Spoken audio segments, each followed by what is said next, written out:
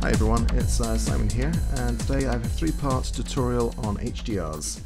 Now, um, if you've been using Cinema 4D for a while, there are some um, basic HDRs in your uh, content browser library. In the latest version R17, they can be found into Prime, lights, uh sorry, presets, light setups, HDRs. And to get access to one of these, you just need to create a new material, open it up, um, have a look through, see which one you want. Uh, let's go for that one and literally drag it onto there like so. And if you want it in the Luminance channel as well, just turn that on. Click, drag that image, drag it over to here, then let it go on there. And there we go. That's all ready to go onto a sky dome. Now HDRs are great, they're fantastic for lighting, but they also can be quite limited, and sometimes you can't quite find the HDR that you want to use. So we've created your material, uh, next you need to put it onto a sky object, not a physical sky, but a normal sky object.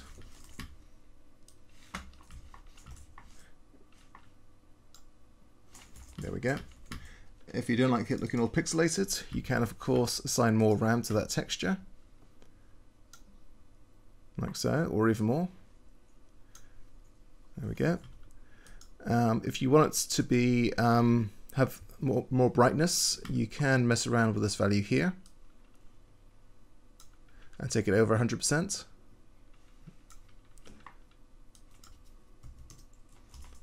And you can also mess around with the uh, exposure here. Um, and for some reason I always like to turn that on. Okay, and let's put a floor in. And let's composite that into the background.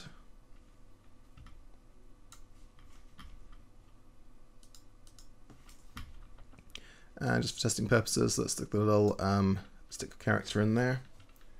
Let's move the floor down.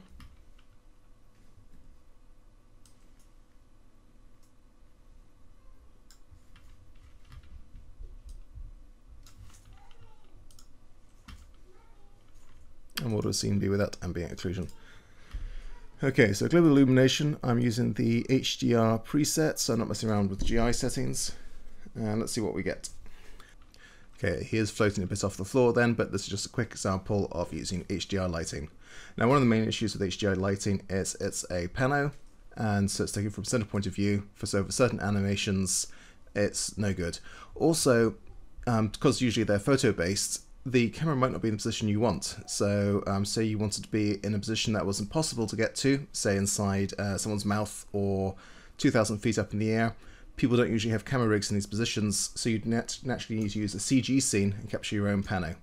So, um, but if you do want to capture your own photo pano, there are some routes to look at, so we can quickly look at these. Um, so if you want to become a budding, a budding VR photographer, you need a lot of gear. You need one of these special um, mounts, you need a decent camera, then you need to do photo stitching PTGui, so it's, it's quite a, a big undertaking. Um, there are a series of existing 360 cameras.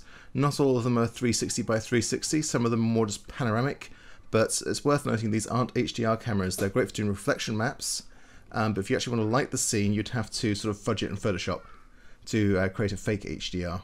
There's quite a few free HDRs on this website, and it'd be remiss of me not to mention Greyscale Gorilla, who have these HDR packs for making studios, which are great and definitely worth looking at. I've also recently discovered uh, Street View, which is a plugin for Cinema 4D, where you can basically create a equirectangular, which is the name for this uh, spherical stretched out image of pretty much any location on Google Street View. So that's a great tool. Um, again, if you want to make it into an HDR for lighting, you'll need to fudge it a bit in Photoshop, um, but it's still a fantastic tool to have. So anyway, um, back to the actual tutorial. Okay, so we're going to use a CG scene to create an HDR. So let's at random, let's choose, um, I quite like that one. Okay, so what you do is you get a sphere. The size doesn't matter, in fact smaller is better because it's less likely to get obscured by something. So I'm just going to make this 10 centimeters large. Um, make sure it's perfect render switched on, uh, but it doesn't hurt to increase the segments. I'm going to stick this at, let's say about an average height plus stage height. So let's make this two meters high. And like I said, I'm going to stick it on stage behind where the presenter would be. So there's the lectern. We're going to move that to here.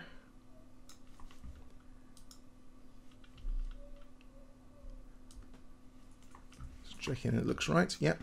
So that's probably roughly where their head would be. And then what we want to do is put a perfectly mirrored material on there. The other settings don't really matter. You can even turn them off if you want to. If you're on the newer versions of Cinema 4D, um, a legacy reflection should be fine. Just make sure it's turned all the way up. Stick that on your sphere. And then we need to bake texture. So um, Shift C to bring up the shortcut. Type in bake and bake textures there. Or you can go to select your objects, tags, Cinema 4D tags, bake texture. That's where it lives. Okay, so we're going to choose an HDR, Radiance HDR, or HDRIs as these to be called. Um, then under options we want reflection, which uh, should be around here somewhere. There we go. And typically uh, for a proper HDR, you want the width to be twice the height. Uh, just the way they are for some reason. Um, so uh, I'm going to do quite a low res one now, just for the sake of the tutorial. Um, but really you want them sort of 8,000, 10,000 wide, if not larger, and then obviously half that height. Okay, and let's choose a path. Let's create a um, temp folder on my desktop.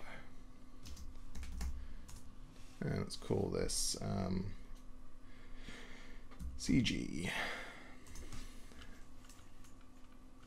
So once you have with all your settings, let's bake. Great, so that should be the HDR now exported. I'm just going to test this in Photoshop to make sure it's all works properly. So I save that to my desktop. That's the one I wanted. Right, so you got that very weird equirectangular shape, so that's correct.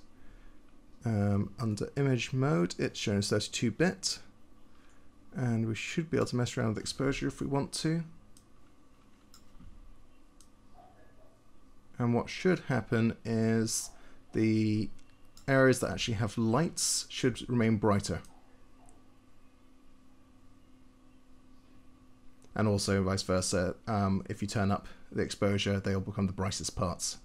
So that's a fully functioning HDR image ready to take back into the scene. And the nice thing about this solution is you can stick your um, capture sphere anywhere. So if, for example, you had a uh, license for DEM or DEM Earth and you wanted to do a camera way up in the sky for doing, I don't know, plane HDRs, you can do that. Um, if you want to do an anatomy one and you have a model of someone's um, head, you can do inside their mouth.